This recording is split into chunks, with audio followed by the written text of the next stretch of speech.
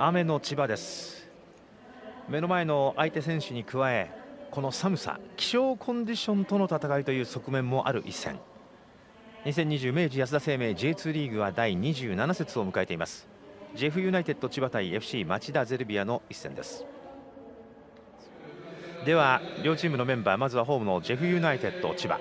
ゴールキーパー新井です。本村チャンミンギュ鳥海安田熊谷アンドリュー田口矢田為田船山山下。前節から変わったのは右サイドバック。今日は本村が入っています。一方アウェイ FC 町田ゼルビア。ゴールキーパーは秋元です。酒井深津水本奥山。高江佐野吉尾平戸ジョン・チュングンそして16番は安藤瑞希です。ここは今田口がいい読みを見せました。スルーパスを通しませんでした。今度は左サイドカウンター気味になる。さあ味方の上がりを待つかそれとも自分で勝負に行くか。左からクロスが入った。シュートはどうだ？ジェフユナイテッド千葉。まあ、ここからですけどねシンプルな、まあ、縦のロングボール山下選手が背後にフリックして、まあ、船山選手ですかね、まあ、ここで仕掛けながら、まあ、ゴール前にもしっかりこう人数をかけてる中でね、まあ、あとわずかでしたよね。まあ、町田の方が、ね、その守備でボールを持たせるっていう時間をね、うん、多く作りたいですし。ファウルがありました。千葉ボール。先ほども同じようなところからフリーキックがありましたけれどもだいぶ田口は痛そうにしています。あここで選手交代ですここまで痛みに耐えてプレーしました。スタンド場内のファンサポーターから温かい拍手です。センターバックは鳥海。そして小島です。急遽ピッチに送り込まれました。小島シュート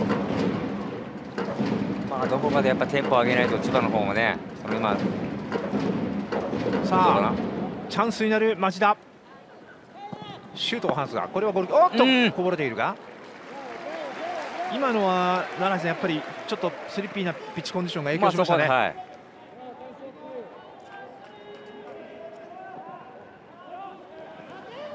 矢田船山のポストプレー。小島からためだあっと。味方に渡せませんでした。ジョン・チュングン足も入りましたよ。シュート、うん、ポスト高江レオ。ミドルシュートいいシュートだったんですがポストに阻まれています。速いクロス。水本のクリアです。佐野が頭でつないで平戸というところ。小島が戻していきました。前半田口の怪我を受けてこの14番の小島が急遽入ってきたんですけども。あとこれはさあ、うん、シュート!山下のシュート。秋元よく止めました。まあシンプルではありましたけどね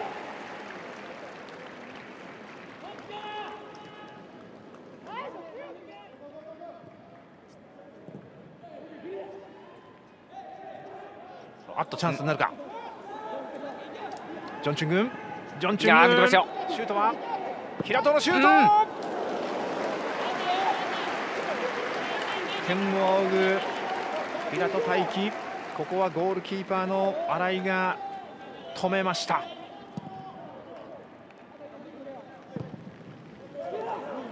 ゴールキーパーの秋元から長いボール。さあバイタルエリア。安藤だ。安藤のシュート正面いや安藤が迎えたこの試合初めてのチャンスじゃないですかね、ね、はい。しっかりシュートまで持ち込んでいきましたが正面でした。キープする。山下。戻して。安田。途中から入りました。増島。いいパスだ。山下のシュート。山下のシュート秋元が止めたポストじゃないですかね。あポストですか、はい、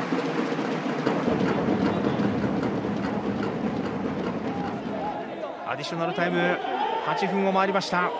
ここまでスコアレス。そしてタイムアップの笛だ。スコアレスドローという決着。